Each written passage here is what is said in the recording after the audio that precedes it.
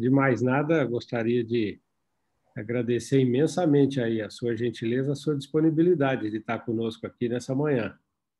Um prazer enorme, uma ah. honra. Né? Bom, eu acho que eu já vou fazendo a apresentação, a senhora já começar. A gente normalmente dá essa tolerância de cinco minutos para o pessoal ir chegando, se conectando. Esses probleminhas eletrônicos são sempre comuns. Pessoal, Sim. bom dia a todos.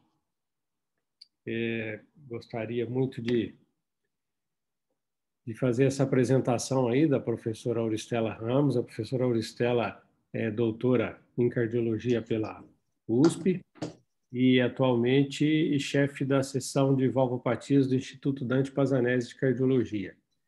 É, as suas credenciais são enormes, a sua experiência é gigante e para nós é uma honra tê-la é, conosco nessa manhã falando desse assunto tão em voga atualmente, que é a estenose aórtica, que depois do advento do TAV ganhou um, um, um quase que um, um, um tamanho de, de, pandemia, né?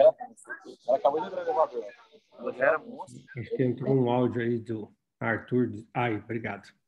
É, então, assim, quase que estamos aí vendo uma pandemia de estenose aórtica e as suas repercussões, né, a sua importância. E o TAV nos trouxe também uma, uma mudança de comportamento da cardiologia com a, a consolidação do Heart Team, né? Eu acho que nenhuma outra técnica, nenhuma outra inovação em cardiologia teve um, um, uma expansão tão rápida, tão consolidada, é, isso graças aos resultados alcançados, né? não foi sem razão. Bom, então eu já passo a palavra à senhora, professora, para fazer a sua apresentação. Bom dia a todos. Eu também quero agradecer a Maurício, a, a equipe né, do Hospital Encore, todos trabalham juntos, e é, falar de um assunto que realmente, como o Maurício falou, é uma, praticamente uma, uma pandemia. Né? Depois que a gente começou a pensar mais em estenose aórtica, principalmente no idoso, o número de casos aumentou bastante. Então, vou falar um pouquinho sobre o diagnóstico, não muito detalhes, como conduzir um paciente com estenose aórtica e como decidir entre TAV e cirurgia. Opa, agora não vai para frente.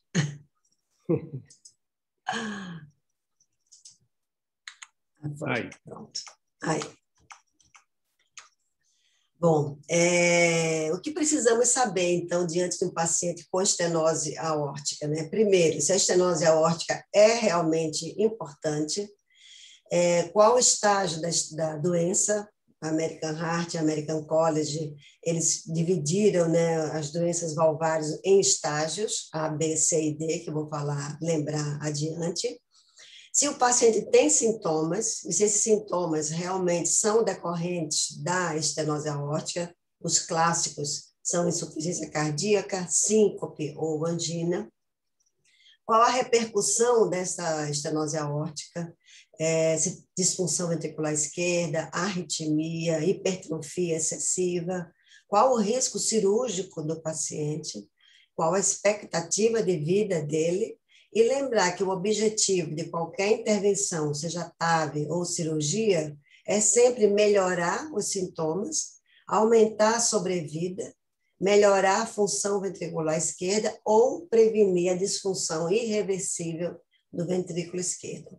E aí, quando a gente fala em melhorar sintomas, já entra a polêmica de tratar ou não o paciente assintomático, já que ele está feliz da vida e se diz assintomático. Aumentar a sobrevida também, a gente tem que pensar bem no paciente com estenose aórtica, uma idade muito avançada, 85, 90 anos. Será que a gente vai aumentar muito a sobrevida dele? E, entre outras controvérsias que nós vamos conversando no decorrer da apresentação. Então, relembrando aqui a gravidade da lesão, de todas as lesões valvares, a American Heart sugere que, para o raciocínio clínico, isso é muito bom para os clínicos, os mais jovens, os residentes, estiverem assistindo, é, é, classificar entre A, B, C e D. Então, bem simples o A e o B. A lesão valvar, no caso estenose aórtica, é discreta a moderada, um gradiente é, entre 30 até 39. A área valvar não é menor que 2 centímetros, que 1 centímetro quadrado. Então, A e B, a estenose aórtica é moderada. C e D, a estenose aórtica é importante, caracterizada por uma velocidade de fluxo maior ou igual a 4 metros por segundo, um gradiente médio maior que 40 e uma área valvar menor que 1 centímetro quadrado. A diferença do C e o D é que o C, o paciente é assintomático, e o D, o paciente é sintomático. E temos alguns detalhes ainda. No C, ele subdivide em C1 e C2. Ambos têm estenose aórtica importante, mas o C2 já tem algum grau, algum marcador de mau prognóstico, que no caso é a fração de ejeção menor que 50%. Então, ele é assintomático, ele tem estenose aórtica importante, mas já tem uma fração de ejeção menor que 50%, então ele é considerado C2. E o D é o D1, D2 e D3. Essa classificação é baseada praticamente, para ser bem simples, no gradiente VE-AO. Então, o D1, o gradiente é maior que 40 milímetros de mercúrio, tá? Independente da fração de injeção. Pode ter a fração de injeção normal ou baixa. Nesse D1, quando ele tem fração de injeção baixa, mas consegue manter um gradiente elevado maior que 40 milímetros, a gente chama de afterload mismatch. Provavelmente a fração de injeção está baixa, é, por conta dessa pós-carga muito aumentada. Então, há uma desproporção entre a hipertrofia e a pós-carga do, do, do, ventrículo esquerdo. Então, a fração de ejeção cai, mas ele consegue manter um gradiente ainda elevado. Então, esse é o D1 clássico. O D2 é o baixo fluxo, baixo gradiente. O paciente tem área valvar menor que um centímetro quadrado, mas tem fração de ejeção menor que 50 e gradiente também menor que 40. Então, nesse caso, há dúvida se a estenose aórtica é importante ou uma pseudoestenose aórtica. Por isso, é necessário fazer um ecoestresse com dobutamina e fazer o diagnóstico diferencial. E o D3, o paciente tem área valvar menor que é um centímetro, gradiente menor que 40, mas ele tem fração de injeção normal. E aí fica-se a dúvida, se a fração de injeção é normal, por que, que esse paciente não faz um gradiente alto? Então, uma das coisas que se estuda é, é o stroke volume, que, em geral, nesse caso, está abaixo de 35 ml por metro quadrado. Então, em geral, ocorre em mulheres, é, com hipertrofia também excessiva, cavidades ventriculares pequenas, pacientes hipertensas. É, então, diagnóstico diferencial aqui também com amiloidose, às vezes é necessário fazer nessa faixa etária. Então, olhando já essa tabela, a gente fica um pouco claro que o A e o B, o tratamento é clínico, avaliar esse paciente aí é, uma vez por ano, fazer um ecocardiograma, exame físico, etc. O C2, que ele, apesar de assintomático, já tem uma disfunção ventricular esquerda, e o D1, 2 e 3, já é indicado uma intervenção é, troca valvar cirúrgica ou transcatéter, de acordo com as avaliações do paciente. O grande problema do tratamento é esse C1 aqui, que o paciente é assintomático e não tem um marcador de gravidade, pelo menos no caso aqui das diretrizes, eles usam a fração de ejeção. Então, sintomas: insuficiência cardíaca, angina ou síncope é a primeira coisa que nós precisamos procurar depois, se o paciente é assintomático, vamos buscar os marcadores de mau prognóstico e depois disso escolher a intervenção mais adequada e mais segura para cada paciente. Essa, essa, essa polêmica dos sintomas é, é muito antiga e continua ainda um pouco verdadeira, não tanto como antigamente, mas ainda um pouco verdadeira. Essa, esse gráfico mostra a história natural dos pacientes com estenose aórtica. Então, o paciente com estenose aórtica assintomático, ele tem uma sobrevida praticamente normal, igual da população da mesma idade e sexo. A partir do momento que eles começam sintomas de insuficiência cardíaca, síncope ou angina, essa sobrevida cai significativamente. E só tem um tratamento que pode trazer essa curva para o que ela era inicialmente, que é abrir essa válvula aórtica ou trocá-la. Então, é, com isso aí, começa aquela dúvida se devemos esperar sintoma ou se nós devemos tratar o paciente mesmo assintomático. Lembrando que esperar sintoma, você pode, se você não resolver logo o problema do paciente, né, não resolver a valvopatia, a sobrevida dele cai significativamente após o início dos sintomas. A morte súbita, que é muito temida nesse grupo de pacientes assintomáticos com função ventricular esquerda, é pequena, realmente não é uma coisa muito é, preocupante. Mas a grande questão é quanto assintomático é realmente um paciente com estenose aórtica importante. Então, muitas vezes, principalmente no paciente com idade mais avançada, ele se autolimita, é, o exercício físico já não é tão abundante, então ele não tem dificuldade de reconhecer uma angina, uma tontura. É, então, o que a gente vê que o diagnóstico, o, o sintoma que assusta mesmo é a síncope. Os outros sintomas o paciente vai, vai levando e não, não valoriza tanto. Então, por isso que é, tem sido é, falado em fazer teste de esforço em paciente com estenose aórtica naturalmente assintomático, sem disfunção ventricular esquerda. E essa meta-análise aqui de vários trabalhos é, mostra isso, que a chance do paciente ter uma estenose aórtica importante e um teste de esforço anormal é quase 50%. Então, 48,8% dos pacientes que fizeram o teste de esforço, eles tiveram um teste anormal para é, quando tinha estenose aórtica é importante, mostrando que aquele paciente realmente não é assintomático, ou seja, desmascarando os sintomas, né? Esse, essa meta-análise também, essa outra aqui, publicada por Rafik em 2009, ele vê isso aqui, que a chance do paciente ter um evento é, cardíaco, que seria é, necessidade de cirurgia, aparecimento de sintomas, no paciente com teste estenose aórtica é importante e teste de esforço normal é 18%. Se esse teste for anormal, isso cai para 60, sobe para quase 65%. Então, esse o teste de esforço realmente ele dá uma luz qual aquele paciente que vai evoluir mal ou bem. Então, os critérios utilizados para considerar um teste de esforço positivo nessas meta-análises foram muito variados. Como toda meta-análise tem, tem suas questões, né?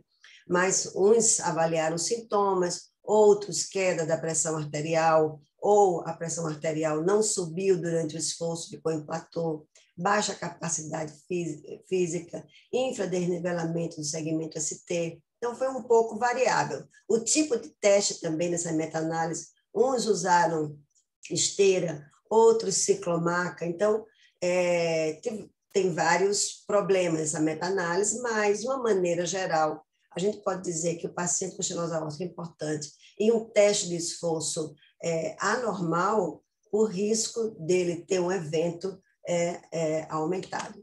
E quando se fala em morte súbita, também o teste de esforço foi é, interessante, porque o paciente que teve um teste de esforço normal, lembrando que todos tinham estenose aórtica importante, área valvar menor que um centímetro quadrado.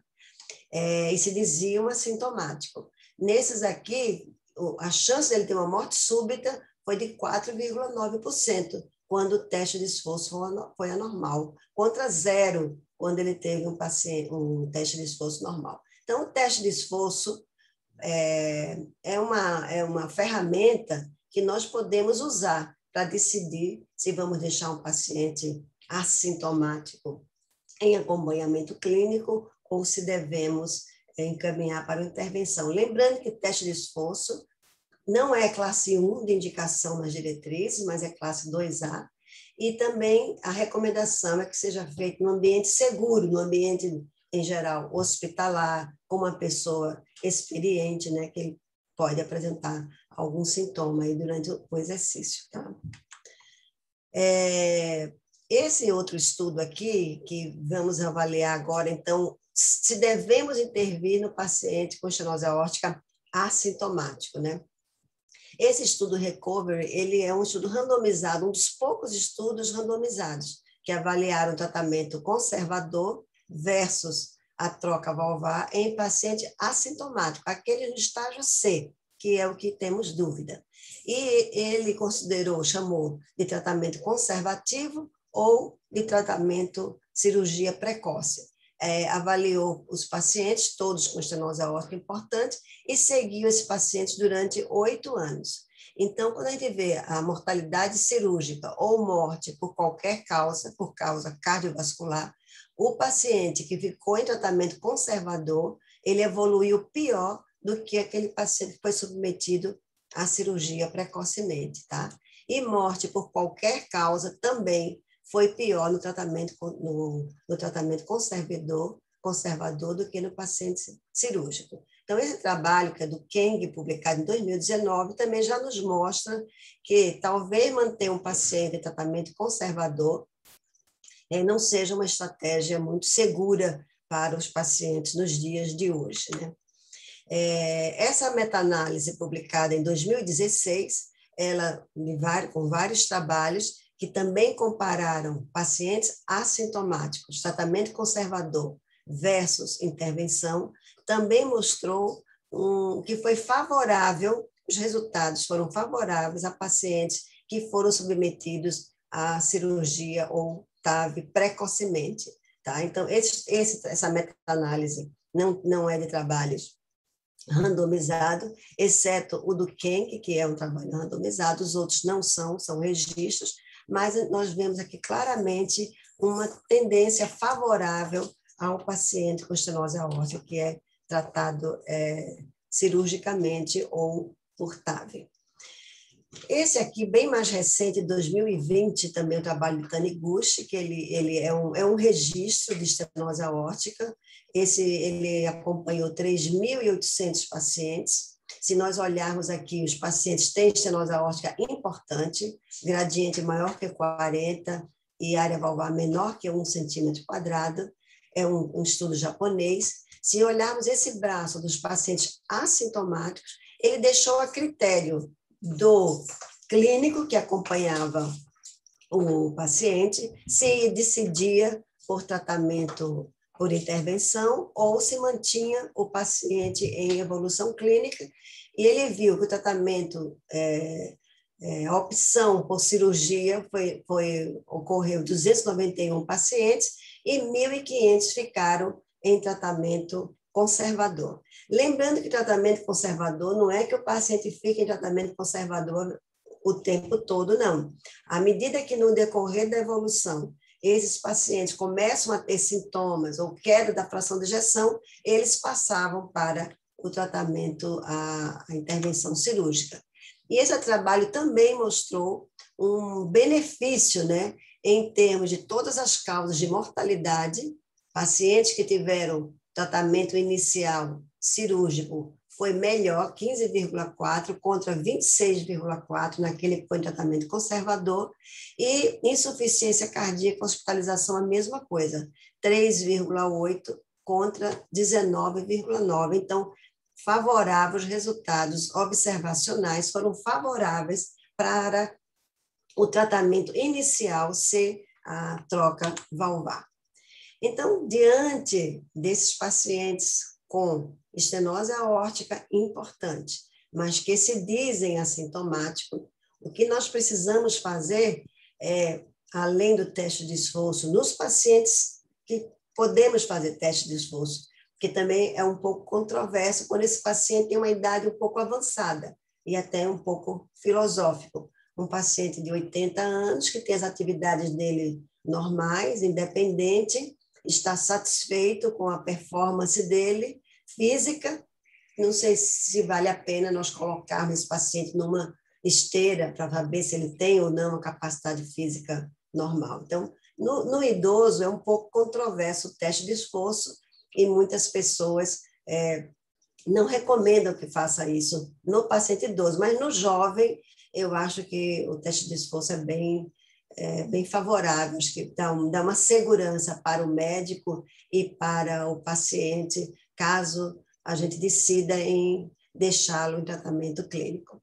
Então, alguns marcadores de mau prognóstico na estenose aórtica têm sido apontados, como fibrilação atrial, a própria gravidade da estenose aórtica, o strain longitudinal, a fração de ejeção, entre outros, BNP, é, uma série de outros é, marcadores de mau prognóstico. Então, eu trago alguns é, trabalhos mostrando isso. Então, é, os pacientes com estenose aórtica, principalmente com idade um pouco mais avançada, o risco dele entrar em fibrilação atrial não é pequeno.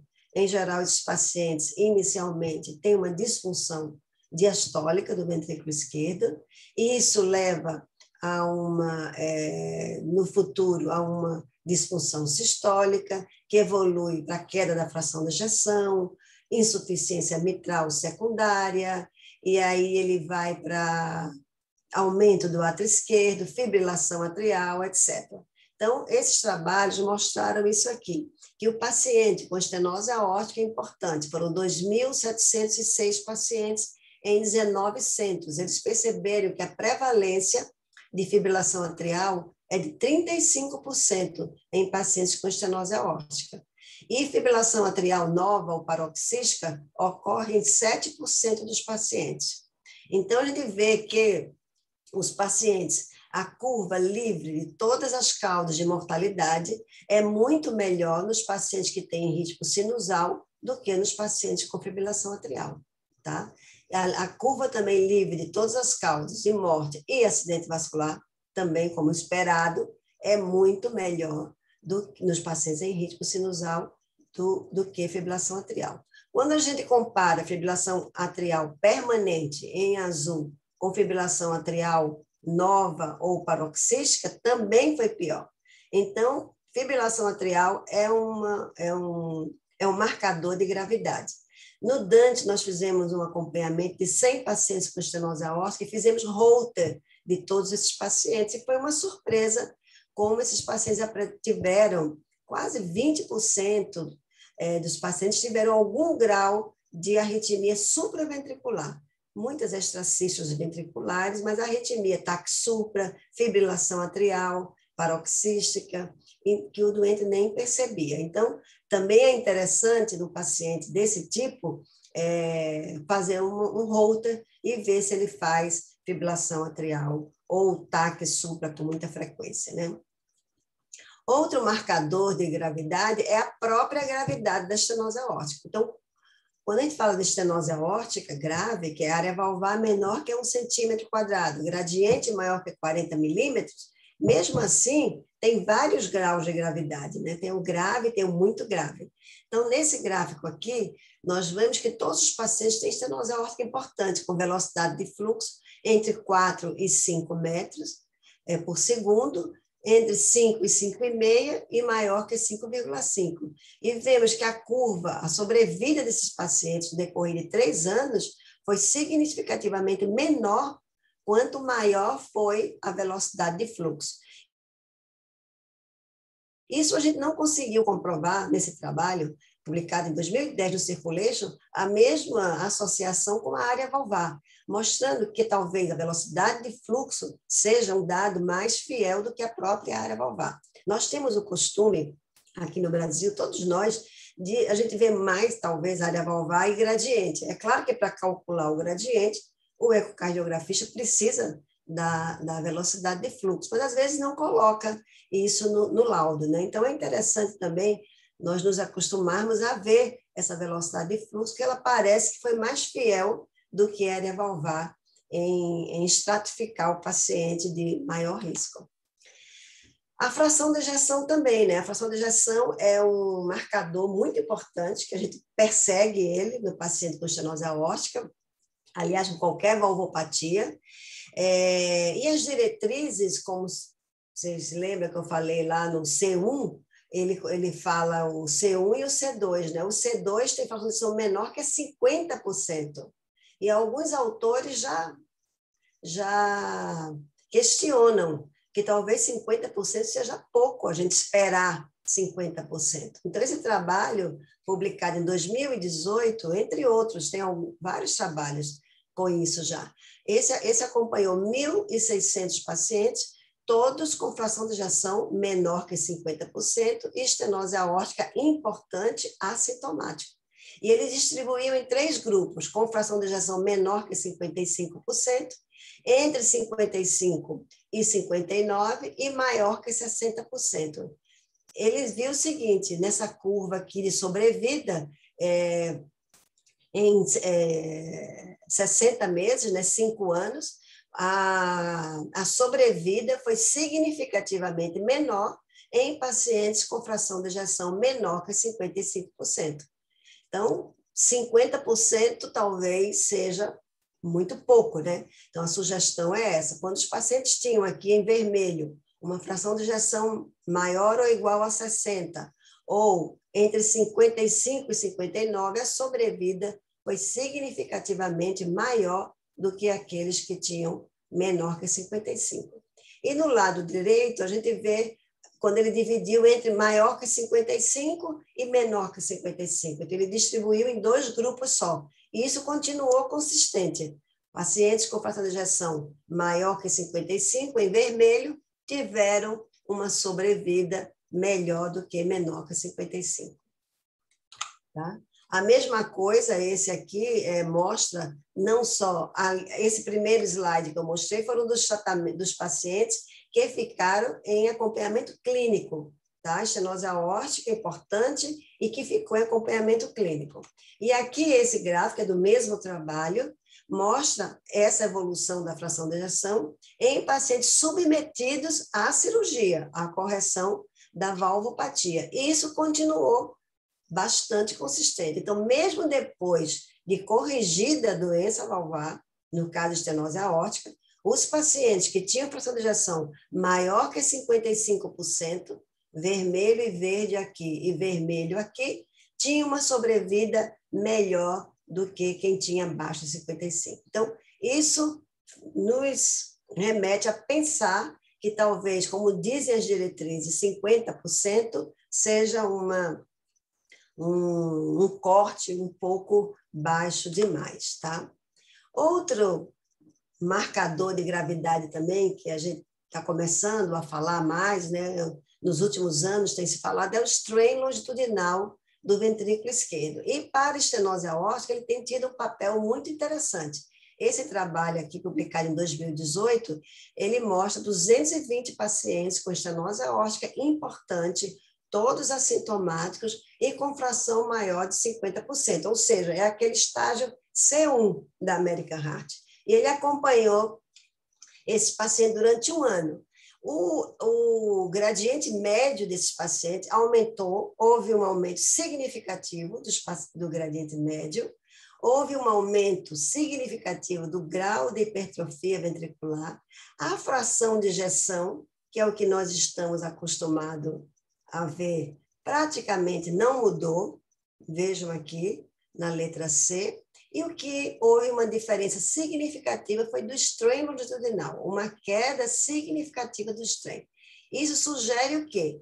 Que o strain longitudinal do BE pode anteceder a queda da fração de ejeção. Então, é interessante que nesses pacientes que a gente está vendo muito de perto, esses treinos dão uma luz daquele paciente é, que vai evoluir com disfunção ventricular esquerda. Então, o estrelo longitudinal pode anteceder a queda da fração de ejeção. Bom, então, visto tudo isso, né, a polêmica da estenose aórtica assintomático, essa tendência não dos trabalhos é, randomizados, que existe só um, mas dos registros, é, dos estudos observacionais, da meta-análise, uma tendência a gente indicar cirurgia mais precoce no paciente com estenose aórtica assintomático, principalmente se ele for de baixo risco cirúrgico, né? É, nesses pacientes, a gente deve procurar os marcadores de mau prognóstico, que são alguns daqueles que eu falei, fibrilação atrial, é, strain longitudinal, fração de ejeção, gravidade, é, o BNP. Então, a gente procurar e, diante disso, vamos escolher é, qual a intervenção mais adequada e mais segura para cada paciente. Então, fica o que nós temos hoje, TAV, ou troca valvar cirúrgica. Isso, para a gente decidir entre uma coisa e outra, é o risco, deve ser avaliado o risco, né? se o paciente é inoperável, de alto risco, risco intermediário, baixo risco, a idade do paciente, as dificuldades técnicas, tanto transcateta como cirúrgica, e, naturalmente, a anatomia da válvula órtica e da aorta.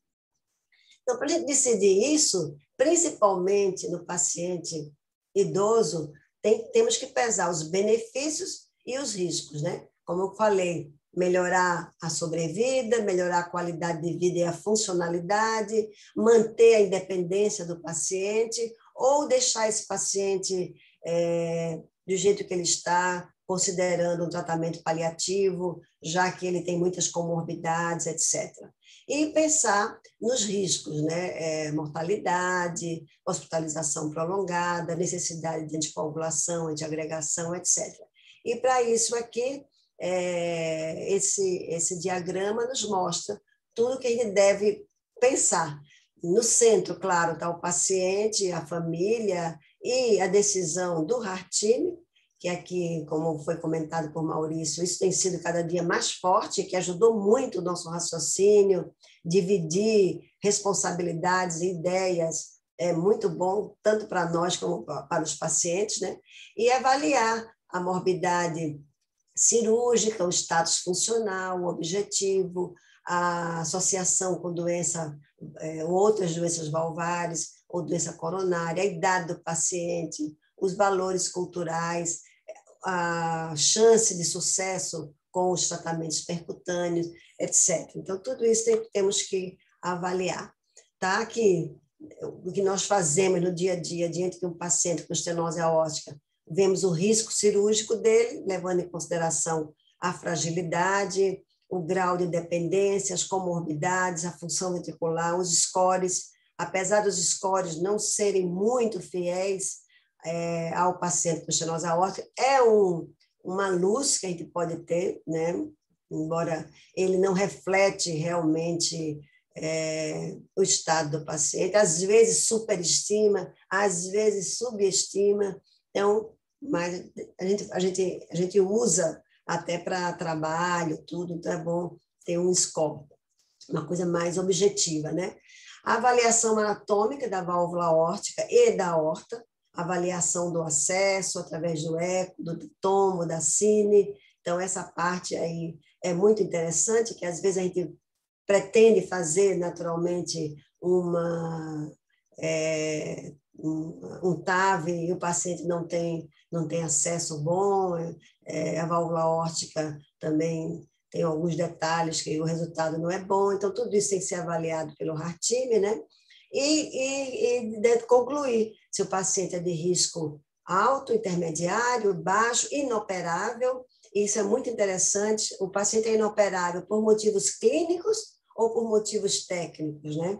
Isso faz uma diferença grande, porque se ele é inoperável por motivos clínicos, será que ele deve submeter a TAV também? Ou não seria um tratamento fútil? Motivos clínicos, eu, eu quero dizer, paciente muito idoso, é, com funcionalidade baixa, que não. Então, será que é, vale a pena a gente né, intervir com uma técnica tão mais cara, etc., e colocar o paciente em risco até de fazer uma AVC ou, ou fazer um BAVT? Então, é, uma, é um pouco filosófico isso aí, por isso que o heart team é muito importante a, a conversa com o paciente e com a família.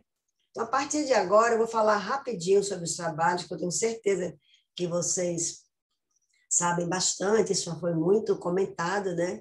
E o TAV, que veio para resolver esse problema dos pacientes idosos nos Estados Unidos e na Europa, vários trabalhos demonstraram que cerca de 30% dos pacientes com estenose aórtica importante, eles não recebiam nenhum tipo de tratamento. Então, ficavam em tratamento clínico, apesar de ter sintoma, apesar de ter estenose aórtica importante, só porque tinham alto risco cirúrgico ou idade avançada. Então, 30% é, ficava sem tratamento. Então, nesse caso, vários trabalhos demonstraram aqui, tanto de, de é, da prótese autoexpansiva como balão expansiva, começou em pacientes inoperáveis, né? Depois caiu para pacientes de alto risco, risco intermediário, baixo risco, e agora até já está já acontecendo trabalhos em pacientes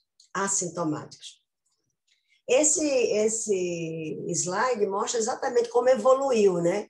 Quando começou, mais ou menos em 2002 aqui, a primeira TAV, é, vocês podem ver que o STS, esse gráfico é sobre o STS. Eles tinham STS acima de 12, a média de STS era acima de 12. Depois da família Partner, começou já a dar uma queda, né? Risco intermediário, baixo risco, é, tanto para válvula autoexpansiva como balão expansiva, e agora o Partner 3, que foi de baixo risco, publicado em 2019, a gente vê que o, é, o STS foi abaixo, foi na, na casa de dois por aí. Então, houve uma queda significativamente é, dos, do risco dos pacientes submetidos a TAB, com resultados é, excelentes também. Então, esse é o trabalho é, que mostra né, os pacientes inoperáveis, mostrando uma superioridade é, incontestável aqui do tratamento de TAV contra o tratamento clínico nesses pacientes. Né? Então, um NNT de cinco pacientes foi muito bom. Então, TAV, naturalmente, é superior a tratamento clínico paciente com estenose aórtica. Depois, os pacientes de alto risco, um segmento de dois, dois anos, mostrou que TAV foi não inferior à cirurgia.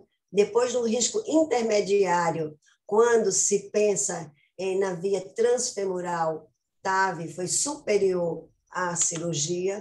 E assim os trabalhos foram evoluindo, chegando no partner 3, de baixo risco, quando foi é, é, os endpoints primários de morte, AVC e rehospitalização, foi atingiu inclusive a superioridade, né? 8,5 versus 15 é, por cento em, em 12 meses, tá? Desde o início aqui, é, nos primeiros meses já houve uma diferença e se manteve em, em 12 meses também. Então, estava no paciente de baixo risco, nesse trabalho, ele foi superior é, ao tratamento cirúrgico.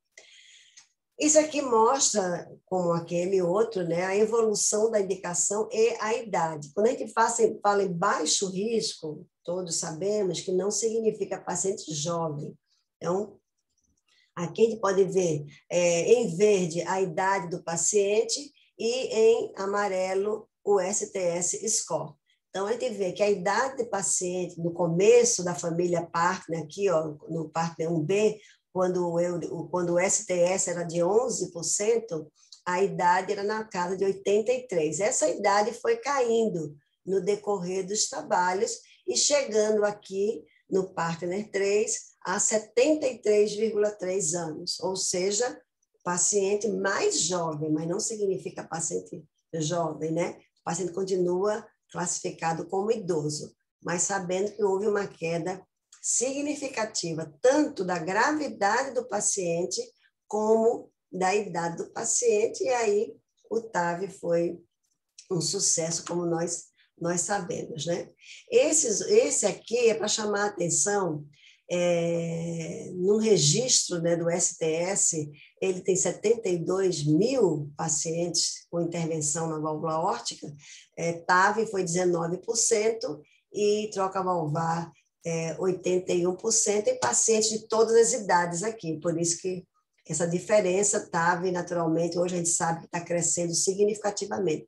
Só para chamar a atenção, que o TAV, ele, é, na idade jovem, aqui de 55, 56 anos, está vendo aqui em azul, em cinza, ele não está subindo, ou seja, não está aumentando. Quer dizer, houve um aumento pequeno, né? O aumento realmente de TAV foi no paciente com idade maior que 76 anos e entre 66 e 75 anos. Então, TAV tem sido cada vez mais usada no paciente com idade acima de 66 anos, segundo esse registro aqui. Nos pacientes mais jovens, ela, ela tem se mantido um leve aumento aqui mas não tem evoluído tanto, né? Claro, a preocupação do TAV, naturalmente, é a durabilidade nos pacientes mais jovens, tá?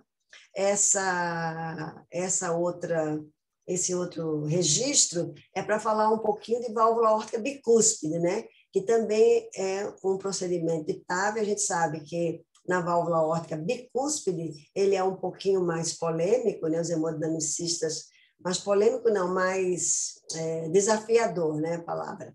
Os hemodinamicistas podem falar melhor do que eu. É, e esses trabalhos randomizados excluíram válvula aórtica bicúspide, né? Então, válvula aórtica bicúspide, é, os pacientes com válvula aórtica bicúspide foram excluídos dos trabalhos, dos grandes trabalhos randomizados. Mas tem vários registros que mostram é, TAV em válvula aórtica bicúspide e os resultados são favoráveis, né? Ele, a, é, a válvula aórtica bicúspide, ela perde em relação à tricúspide, principalmente no quesito de leak, de vazamento paraprotético, né? Ela pode deixar um pouco mais de vazamento paraprotético do que no paciente com válvula tricúspide, né? E também alguns problemas com ruptura de anel e tal. É, isso foi praticamente resolvido, naturalmente, não resolvido, mas bastante minimizado com a experiência do, de quem faz o procedimento e com as próteses de nova geração e com o conhecimento da anatomia valvar, que com o advento da TAV, é, se aprendeu bastante sobre a anatomia da válvula órtica, né? Às vezes ela não é tão redondinha como nós pensávamos, um pouco mais elíptica, o cálcio pode invadir a via de saída, etc. Então, tudo isso é analisado pelo hemodinamicista e, com experiência, hoje, válvula aorta bicúspide não é mais uma contraindicação tratável. É, de uma maneira geral, quando compara a válvula bicúspide com tricúspide, né, estava em bicúspide contricúspide nesta revisão sistemática e meta-análise, a mortalidade foi igual, o risco de AVC foi igual, até o vazamento paraprotético e a mortalidade em um ano. Então, praticamente a mesma coisa quando o doente é bem, é bem avaliado. Então, em resumo, é, só para mostrar o que dizem as diretrizes, né? Diretriz Europeia 2017, ela recomenda cirurgia em pacientes naquele estágio C2, que é a fração de injeção menor que 50%, eles mantêm 50% ainda, é classe 1. É, nos pacientes, naturalmente, assintomáticos, está vendo? Que tem um teste de esforço é, com sintomas, é, que é, acredita-se que aqueles sintomas são decorrentes da estenose aórtica, ele também considera como classe 1 é, a, a, o, a indicação de fazer é, um teste de esforço não é classe 1, mas é classe 2A, eles consideram indicação cirúrgica como classe 1 se o paciente apresentar sintoma no exercício físico. Se ele apresentar uma queda da fração de ejeção, ele considera como 2A. E se ele apresentar aqueles marcadores que nós comentamos, né, que é a velocidade de fluxo maior que 5,5 metros, níveis de BNP aumentados, algum grau de hipertensão pulmonar, calcificação importante ou progressão eh, da doença mais que 0,3 metros por segundo por ano na velocidade eh, de fluxo, eles consideram como 2A também, ou seja, a maioria acredita que o paciente assintomático. Se tiver algum desses detalhes é, comentados, devem ir para intervenção. Aqui também American Heart 2017, tem a de 2020 também, que fala isso.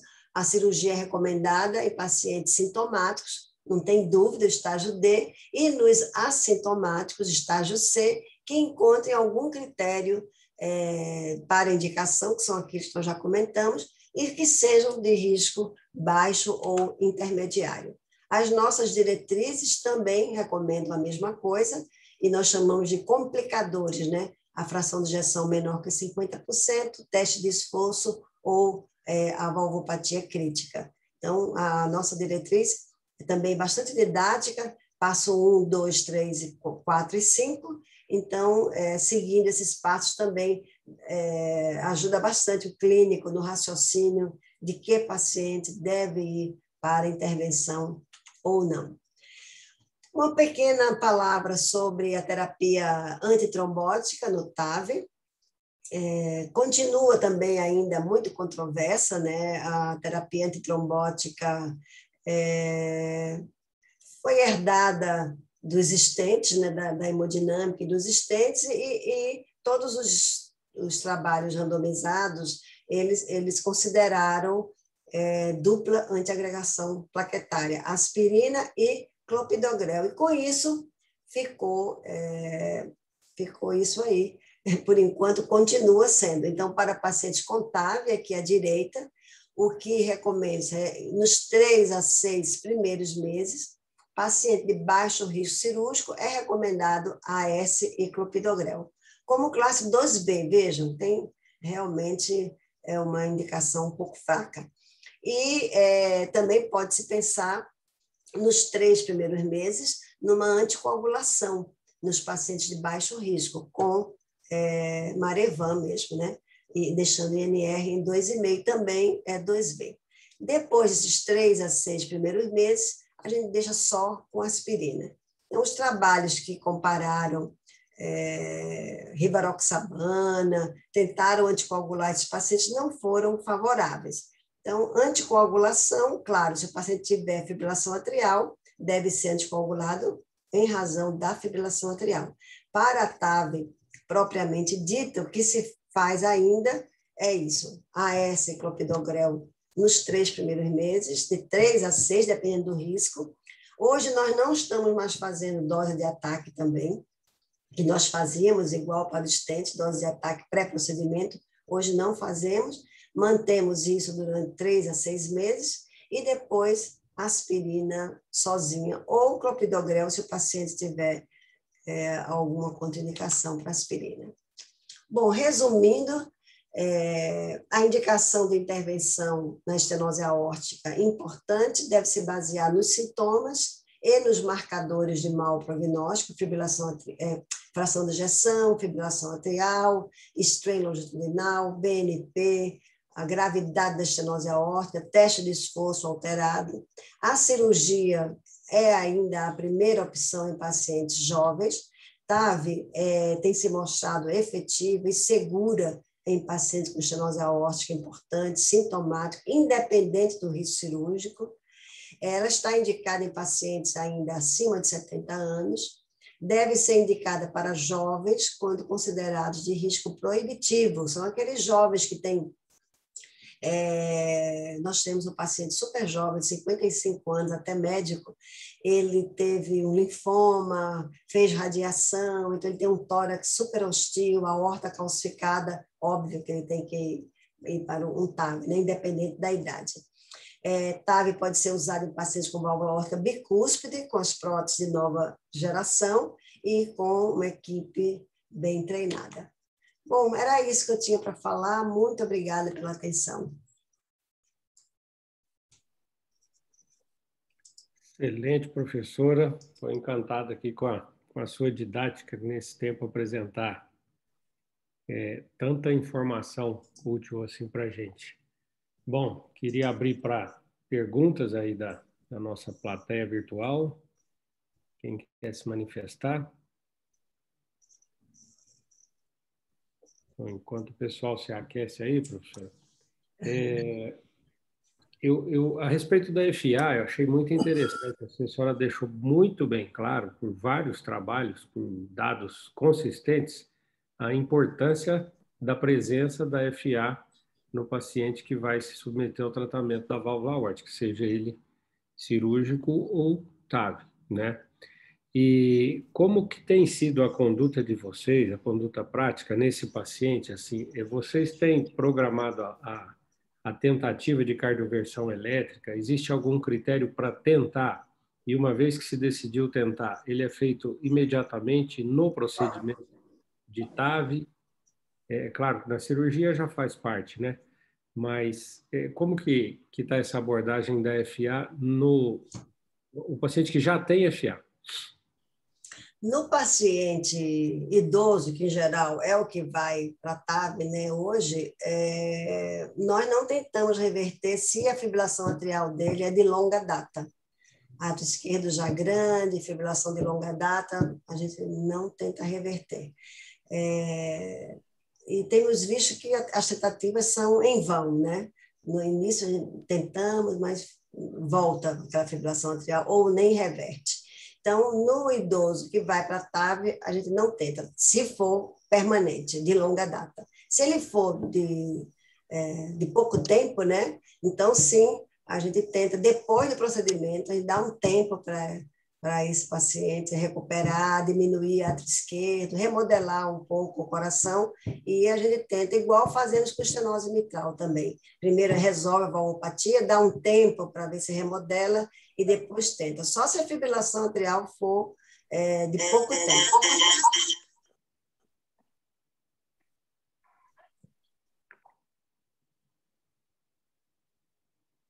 Ok. Alô? Tá, entrou. Tá bom. Tá. É, ótimo. Alguma pergunta, pessoal? Malan, fica à vontade. Só que abre só seu microfone, meu amigo. Oi, Malan. É, primeiro. É você? Pois é. Eu vi que era você, eu disse, meu Deus, eu tenho que tudo hoje. O começo tem que ser Clauristé, minha colega de turma, lá em Recife. Ai, beleza. hein, Malan? Tudo jóia, né? Pois é, mas parabéns pela sua aula. E, bom, em relação a TAV e marca-passo, que é um, é um é um tema. Deixa eu só desligar aqui que o celular também está ligado, vocês me desculpem. Ah, meu Deus. Bom, deixa eu tirar aqui o celular. E em relação ao marca-passo e TAV, obviamente a TAV ela tem como um complicador né, no pós-TAV, são os bloqueios atrioventriculares, principalmente nas, no período, naquele período peritave, né? nas primeiras 24 horas você tem um, aumento, um, um grande percentual de bloqueio de ramo esquerdo, isso aí vai reduzindo pelo edema tal e desaparece. É, quais são, assim, os complicadores que você vai indicar um paciente para TAV? Qual é aquele paciente que vocês consideram como principais complicadores, a possibilidade de, de, evoluir para um BAV total, um bloqueio de ramo esquerdo? Qual é aquele paciente, eles vão, esse paciente aqui, vou preparar o pessoal do marcapasso, que eu acho que vai gerar um, um, um, um, bloqueio e talvez precise marcar passo. Qual seria aquele paciente, mais ou menos, assim, na experiência de vocês? É um paciente que já tem né, um, bloqueio de ramo direito, então a gente já fica é, de olho, né?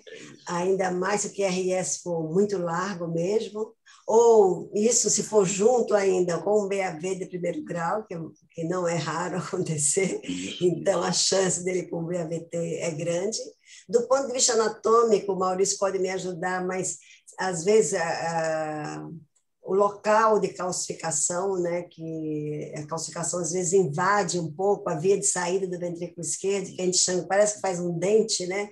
E isso também já deixa a gente é, um pouco esperto, né? A necessidade de fazer uma pós-dilatação, então, nesses casos, a gente já, já tenta evitar também. Então, é, é, são esses casos que a, gente, que a gente fica de olho, né? A chance de colocar marca-passo existe ainda.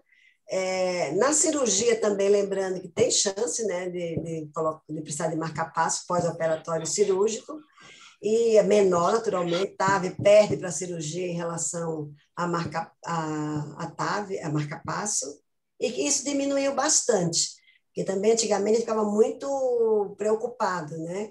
É, quando o paciente fazia um BRE, já implantava o marca-passo definitivo, hoje a gente espera, segura um pouco, observa, faz um holter, então, a gente, às vezes reverte, né? E aí eu queria até te perguntar se você tem experiência com isso. Eu li um trabalho que desses pacientes que colocaram marca-passo definitivo, no, depois eles viram, um ano depois, é, nem todos estavam precisando do marca-passo mesmo, né? Então, não sei se você tem experiência com isso. Paciente irritável, às vezes coloca o marca-passo ali e depois nem usa. É, aqui a gente até tem uma certa, assim, talvez a gente não tenha um volume de TAV tão grande, mas tem sim, e assim, a necessidade de, de, de, de marca-passo, ela, ele, assim, a, a, nossa, a nossa complicação na necessidade de marca-passo é até baixa, sabe? Mas esses pacientes, por exemplo, quando tem um bloqueio de ramo direito, o Maurício já avisa, olha, esse aqui é um super candidato. Aquilo que você falou, esse paciente muito calcificado, pacientes que têm é, disfunções valvular também associadas, tal. Então, esses pacientes têm candidatos é é, é, é, ao implante. Com relação a isso aí, de muitos pacientes voltarem, né? Dependendo do tipo de bloqueio, se você só faz, por exemplo, um, um, um, bloqueio, de ramo esquerdo e um bloqueio de ramo esquerdo, um bloqueio de elevado grau, a gente, obviamente, o ideal é a gente colocar o marca-passo. Desses pacientes aí em humano, pelo menos uma boa parte reverte isso aí. Eu não tenho nenhum dado, porque eu, a, a, minha casuística é muito pequena e eu não, eu não vi sobre isso aí, mas eu já vi na literatura, fiz uma revisão recente, que boa parte desses pacientes revertem, né? mas essa reversão não significa é isso é interessante. Muitas vezes ele reverte naquelas 24 horas que você fez o holter. Isso não significa que durante todo o tempo, porque esses pacientes idosos e que têm calcificações e tal, que já foram tiveram traumas, eles podem fazer bloqueios paroxísticos intermitentes. Então, assim, não quer dizer que eu reverti aquilo ali, a não ser que você faça o eletrofisiológico e veja que o sistema de condução, mas o que eu vi no trabalho, eles fizeram o holter e estava tudo bem. Então, não dá para a é. gente afiançar que, olha, poxa, vamos tirar, tirar o marca-passo. Não dá para fazer isso. É que são pacientes de altíssimo risco tal. Eu acho que, mais que uma, uma boa parte, isso a gente precisa ver qual, qual, quais seriam esses pacientes exatamente. Eu dou, vou até dar uma, isso vai me estimular a dar uma estudada boa, ver esse tipo de abordagem, quais são os pacientes que realmente, qual é a característica do paciente que volta é, para o ritmo próprio. Mas eu fiquei muito feliz de estar aqui, viu? Parabéns, eu quero agradecer ao Maurício trazer uma pessoa de uma pessoa assim tão brilhante como você, né? Nossa colega de turma lá em Recife também foi colega lá nossa no Dante Pazanese também. É. A gente de Recife para o Dante, né? Você e a Nízia, né? É isso aí. Que bom. Prazer em lhe ver. Muito um abração para você, viu? Muito obrigado. O, o mundo virtual tem essas vantagens também, né? É. Mas, professora, é, só complementando, a questão do marca-passo, Malan, é, além do, do, desse status da condução pré-intervenção, a gente ainda observa algumas coisas, que é o tipo da prótese utilizada, né? As próteses balão expansível têm aparentemente, assim, tem dados mostrando que tem menos necessidade de marca-passo. É, a posição onde a gente hoje libera mudou em relação ao início, a gente faz o que a gente libera de posição mais alta, ou mais aórtica, levando a, a menos compressão, menos trauma local ali na via de saída, na, principalmente na parte septal, onde desce os, os feixes de, de condução, os feixes de RIS, né? Então, isso tem é, diminuído sensivelmente a incidência do marcapasso pós-TAV. Agora, uma coisa a se observar, Malan, eu acho, achei interessante isso da gente pensar naqueles que colocaram e que talvez não precisasse. Mas muito pior, e o que a gente já observou aqui, é aqueles onde não colocamos e voltaram com um evento precoce. Dentro de 30 é. dias, com uma síncope, uma lipotímia. É. é, nós temos um caso de morte súbita com nove meses, que não sabemos se foi isso, né? ficou sempre ficou no ar, mas é, é, e conversando com os colegas, essa sensação é sempre pior. E, e para terminar esse, esse, esse tema, doutora, nós estamos fazendo aqui um estudo de avaliação do período HV, e o Malan, com o Silva, Silva Lesca, nosso eletrofisiologista, a gente faz pré e pós-TAV. E não, não compilamos os dados, não concluímos, mas já vimos alguns casos que esse estudo determinou é, que o paciente deveria ir para marca-passo, mesmo sem ter os critérios tradicionais, né? sendo, portanto, mais conservador, mais protetor nessa indicação. Certo? Bacana. Ó, acho que o doutor Fernando levantou a mão ali, professor. Vamos ver que pergunta que ele tem. O doutor Fernando é intervencionista do grupo e, e com uma boa experiência em TAV também. Bom dia, doutora Estela, tudo dia. bem? Tudo. Parabéns pela aula primeiro, tá? Foi excelente. E o que eu queria perguntar para a senhora é que no, no pré-procedimento, a gente tem uma dificuldade muito grande, às vezes, de verificar pelos scores de risco que a gente tem se esse paciente realmente é um paciente grave, se é um paciente de alto risco. A gente sabe das falhas dos scores, tanto do STS, quanto do Euroscore, quanto até o, o risco de TAV que vem sendo desenvolvido hoje em dia. Agora, uma coisa que, que a gente vê muito e que eu queria saber na opinião da senhora, tem alguma coisa mais objetiva para a gente avaliar, é a fragilidade do paciente.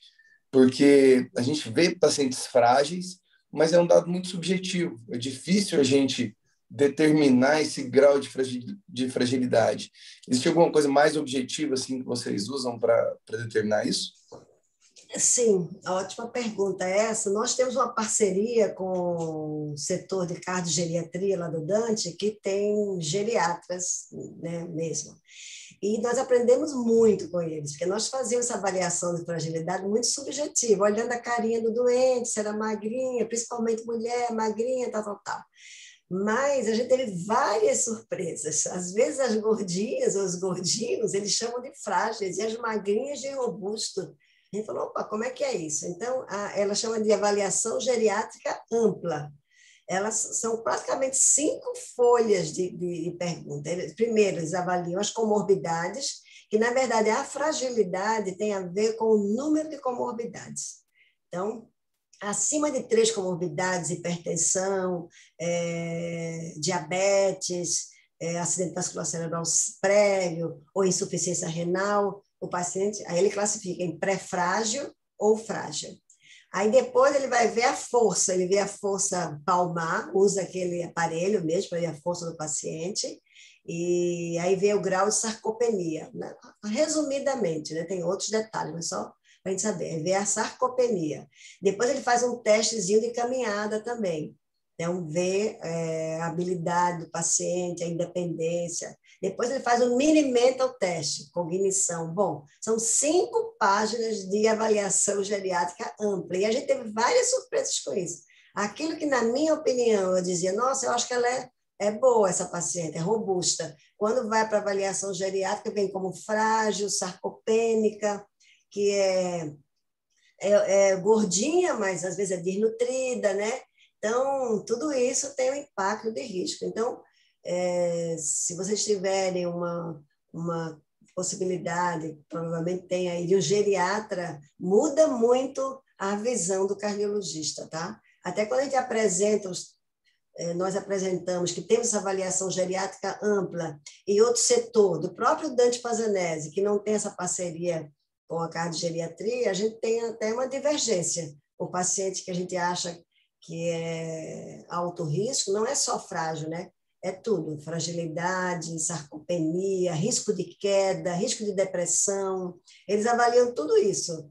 É, é, risco social, às vezes o idoso é, é só, ele é sozinho, não tem, não tem quem leve nas consultas, não tem quem traga, anda de ônibus. Então, tudo isso é levado em consideração. Então, é bem mais completo, como você falou. É, e tem vários vários índices, né? Que depois, se quiser, até eu, eu passo para vocês também aí. Várias coisinhas que são avaliadas para chegar a essa conclusão. É, realmente, os scores ou superestimam ou subestimam, é, tem, que, tem que ter uma avaliação mais ampla mesmo. Obrigado. Mais alguma pergunta aí, pessoal? Professora, é, na sua experiência de valvopatias em geral, é um tema que eu não sei se a senhora tem dados, mas eu vejo pouca correlação. A senhora mencionou alguma coisa en passant, é, e eu acho que a gente estuda pouco, é a questão da hipertensão pulmonar nesses pacientes. É, e muitas vezes é muito difícil separar o sintoma se ele vem de uma valvopatia, seja aórtica, seja outra, e quando ele tem a hipertensão pulmonar, com ou sem DPOC. Então, como que, que, que a senhora enxerga essa questão da, da hipertensão pulmonar na indicação e mesmo no pós-intervenção, pós-TAV, se pós-cirurgia, se, se tem apresentado queda, melhora de sintoma? É, a hipertensão pulmonar é um problema também no idoso, porque em geral ele vem né, com uma com comorbidades, muitas vezes uma carga tabágica é, importante, né, sequela disso, DPOC, enfisema. Então, é importante diferenciar se a hipertensão pulmonar é decorrente da doença do lado esquerdo do coração, que seria né, aquela classificação ali da da hipertensão pulmonar, o tipo 2 de hipertensão. É, esse se beneficia com a correção da estenose aórtica, mas, em geral, esse paciente é um estágio bem mais avançado. Tem aquele trabalho de Generot, né, que ele classifica de 0 a 5 é, a repercussão hemodinâmica da estenose aórtica. É, no 5, o paciente já tem disfunção ventricular esquerda, insuficiência mitral, dilatação atrial e hipertensão arterial pulmonar. Então, quando o cara tem hipertensão arterial pulmonar decorrente da estenose aórtica, ele deve ter disfunção ventricular esquerda, é, insuficiência mitral, em geral fibrilação atrial e HP. Esse talvez se beneficie, apesar do risco ser maior, né, o estágio mais avançado, mas se eu, se eu é, corrigir a valvopatia do lado esquerdo, pode haver algum benefício.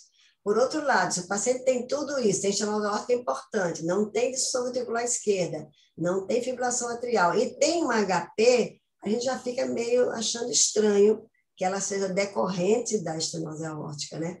E aí temos que avaliar mesmo é, o pulmão. Se isso for é, decorrente de uma doença pulmonar, então, o benefício de você abrir essa válvula aórtica não é muito importante, né? Às vezes é muito difícil de fazer esse diagnóstico diferencial, né? Se é de uma doença pulmonar ou é secundário a, nas valvopatias de uma maneira geral, a mitral e tal. É, o que a gente sabe é se tiver hipertensão pulmonar decorrente da doença do lado esquerdo, vale a pena tratar a doença do lado esquerdo o risco é maior, mas o benefício é muito bom. Mas se ele tiver as associações, né, que seria pós-capilar, no caso, hipertensão arterial pulmonar, decorrente de, de hipertensão capilar pulmonar pós-capilar, vale a pena. Mas há muitos pacientes que têm ela mista, tem pré e pós-capilar, ou tem uma doença pulmonar. Então, às vezes, o diagnóstico diferencial é bem difícil. É bem difícil. Aí Aí ele tem que avaliar caso a caso mesmo, né? É verdade. Mais alguma pergunta? Bom, professor, se ninguém pergunta, eu vou abusar de mais uma aqui. Como que a senhora tem? É, é, são duas que talvez podem, podem ser respondidas junto. A primeira é simples. A senhora falou que o, o strain longitudinal é um critério que a gente pode ter ele alteração mais precoce antes da fração de ejeção, né? ele funcionaria também na IAO? E outra pergunta, uma vez tratado, a senhora sabe se depois ele recupera, uma vez feita a TAV, tanto ou a cirurgia?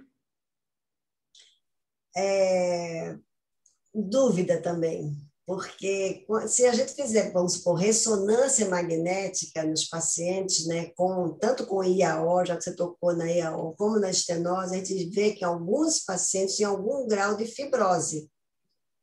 Até nos pacientes com estenose aórtica e disfunção ventricular esquerda, essa disfunção ventricular esquerda pode ser decorrente só dessa pós-carga elevada, como eu falei lá, que é aquele UDU, né? que é o afterload mismatch, a fração de injeção cai, mas ele ainda tem um gradiente muito alto, esse paciente também tem strain longitudinal baixo e eles recuperam, em geral. Talvez não normalizem, mas recuperam uhum. muito, tanto o strain como a fração de ejeção. Mas tem alguns pacientes que já têm algum grau de fibrose, tanto na estenose como na insuficiência. Esses não vão recuperar. Então, o strain longitudinal ele é mais sensível. Então, numericamente, a gente pode até ver uma melhora da fração de ejeção, mas o strain não melhora tanto nesses pacientes que já têm uma fibrose mesmo, tá? Então, se a gente for ver é, em termos de fibrose, quando ele já tem a fibrose instalada, não vai melhorar. Por isso que a tendência é a gente ser um pouco mais precoce, tanto na IAO como na estenose, para evitar essa fibrose, que tem sido visto mais na ressonância mesmo do que nos outros exames complementares, né? Ok. Professor, a questão do gradiente, é, esse é um tema muito discutido entre os hemodinamicistas e ecocardiografistas. Eu não sei se tem algum ecocardiografista aqui nos assistindo aí da, da equipe, mas a gente é, agora está muito em voga, que às vezes a gente tem uma discrepância grande no pós-intervenção entre o gradiente medido no eco e o que a gente mede na hemodinâmica, né? É, a senhora tem observado isso aí também no follow-up dos pacientes no ambulatório? essa discrepância você diz a. Que às vezes a gente completa o procedimento com sucesso, mede o gradiente dentro da sala e, e o gradiente está menor que 10. Mas, e a válvula bem implantada, não tem leak importante, aparentemente sem mismatch. Mas aí o eco mede, talvez no dia seguinte, é um gradiente ali de, de pico de 25, 30. Não chega a ser grave, mas que a gente considera um pouco incompatível com o que a gente está vendo e com a hemodinâmica, que a rigor é o padrão ouro, né? É... é isso, isso também eu vejo até no pré, sabe? É... a hemodinâmica sempre dá um gradiente menor, né? O gradiente da hemodinâmica a gente sabe que não é igual ao do, do eco, né? Diferente. O momento onde se mede o gradiente é diferente, né? Então, uma das explicações já é essa mesmo. Mas eu vejo muita discrepância, sinceramente, mais pré do que pós. Porque pós, como é no momento ali, imediato, depois ele não repete o CAT, a gente nem valoriza muito esse, esse gradiente, né? E às vezes o paciente está um pouco sedado, hipotenso, então esse gradiente a gente prefere ver o do eco mesmo. Agora, o pré quando o doente vai para cateterismo, que a maioria vai mesmo, a gente hoje em dia não é costume mais medir gradiente, né? Aferir o gradiente, não é mais é, costume dos hemodinamicistas. O eco já dá o gradiente, gente não fica lá cutucando a válvula órtica calcificada para ver gradiente, que a gente já sabe que a estenosa órtica é importante. Mas quando faz, é uma decepção. O gradiente da hemodinâmica é sempre menor do que, do que o do eco. Então, eu acho que eu prefiro ver o do eco mesmo. E esse de pós-operatório imediato, pós-TAB, eu acho que tem todas essas coisas que talvez interfiram, né? Dê um gradiente mais baixo, não sei. Ok. Mais alguma pergunta, pessoal? Bom, professora, já estamos a, abusando aí do seu tempo, né? 8 ah, que é isso. até 8, dá vontade de ficar perguntando mais, usufruindo aí do seu conhecimento, né? Mas é, eu queria, então, encerrar a nossa sessão aqui, agradecendo a participação de todos. Malanzinho que veio aí prestigiar, né, Malan? E agradecer a senhora pela disponibilidade aí novamente do tempo. Esperamos revê-la em outras ocasiões aqui conosco, com outras válvulas ou com essa mesma válvula. Né? Ah, muito obrigado. obrigado eu mesmo. que agradeço muito, foi um prazer, e agradeço a Edwards, ao hospital, a sua equipe toda, e a Malanzinho aí, que estava com saudade, faz muito tempo que eu não vejo Malan. Estou vendo Malan e Fátima. Fátima tá boa? Tá tudo Ótima, bem? Fátima. Tá muito bem ah, a Fátima, tá ótimo. Que bom. Então, foi ótimo para mim. Foi ótimo vê-los todos, tá, Maurício? Obrigada mesmo, tá? Ok, obrigada, senhora. Obrigado, pessoal. Um ótimo Foi. dia. Vamos Igualmente. Dia, tudo de bom. Tchau. Um abraço, bom dia a todos. Obrigada. Tchau.